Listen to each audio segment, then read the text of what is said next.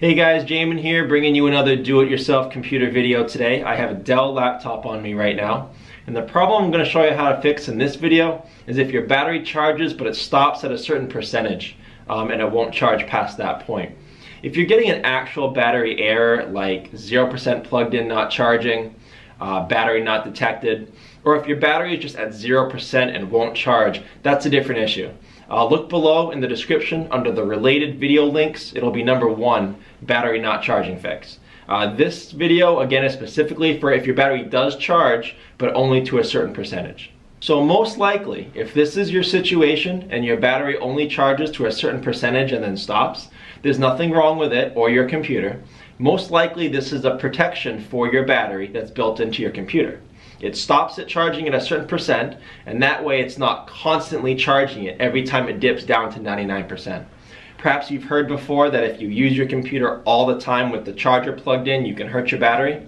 That's true, and this feature is designed to limit that a little bit.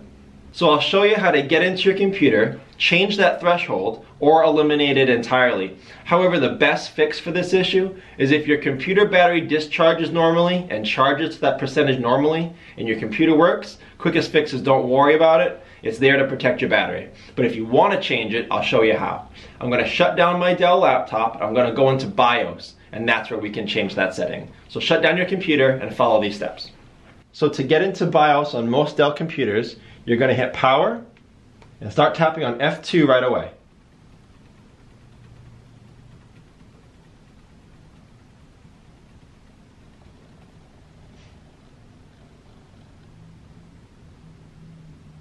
And there's BIOS.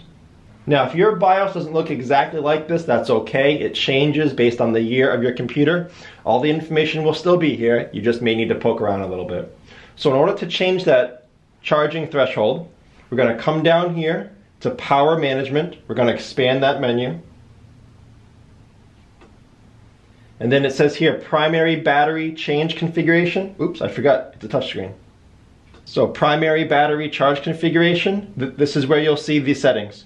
50% custom charge start, 90% custom charge stop. So that's why this computer stops charging at 90% because it's set to do it here. Now you can use these arrows up and down. You can set it to, for example, I can go to 95%, 97%, all the way up to 100% if I want my battery to fully charge.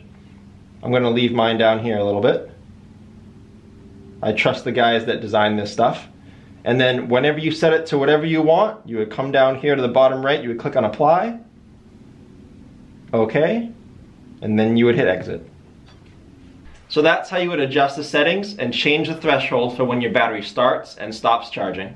Again though, if your problem is something more serious like an actual battery not charging error, or if you see your battery's not charging at all, again, go down below in the description. It'll be video number one in the related video links showing you how to fix a problem of your battery actually not charging and something being wrong with it.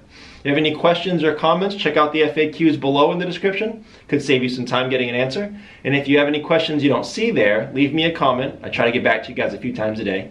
So like and share. This helped you out understanding why your battery wasn't charging right. And uh, subscribe if you enjoyed do-it-yourself computer repair. Thanks for watching, guys.